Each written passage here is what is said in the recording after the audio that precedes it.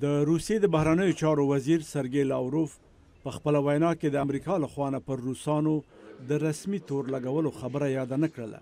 خو د کنفرانس یو تن ترې پوښتنه وکړه چې د روسي مالیه ورکوونکو یو اشاریه دوه میلیونه ډالر مو د امریکا پر انتخاباتو ولګول څه ګټه وکړله د لاوروف ځواب لنډ و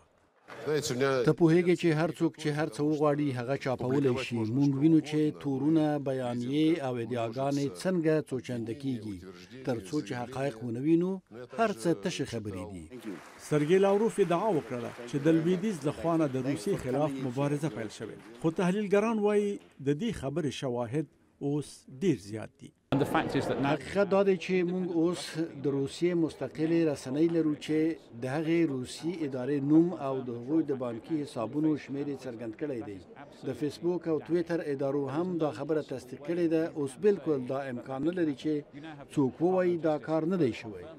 د متحدو ایالاتو د ملي امنیت سلاکار اچ آر مکماستر وویل امریکا د مقابلې لاره زده کړې ده.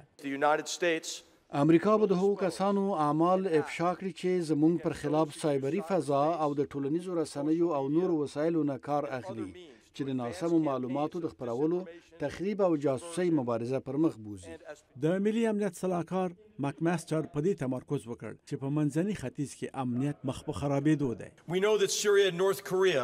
مونږ پوهیږو چې سوریه او شمالي کوریا یوازیني خپلسري هیوادونه نه دي چې خطرناکې وسلې جوړوي او استعمالوي یې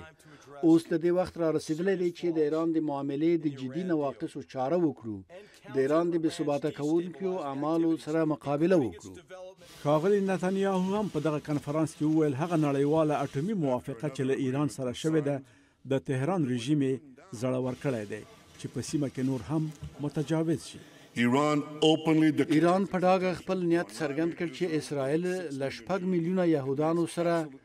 له منځه یوسي. ایران غواړي چې په سیمه باندې کنټرول ولري، په منځني ختیځ او بیا پر نړۍ باندې د تیري او ترهګرۍ له لارې کنټرول ولري. ایران دا تورونه مکرراً ردوي، خو واشنګټن د سوریې د شخړې پېچلتیا ته اندېښمن دی. د دې کلني امنیتي کنفرانس مقصد دا دی چې دوستان او مخالفین سره یو ځای کړي او په شخړو باندې د خبرو لپاره شرایط برابر کړي. داسې احساس کېږي چې نړۍ نوره هم په یوه خطرناک ځای بدلېږي. نسیم ستانیزی، امریکا غږ آشنا ټلوېزیون، واشنګټن.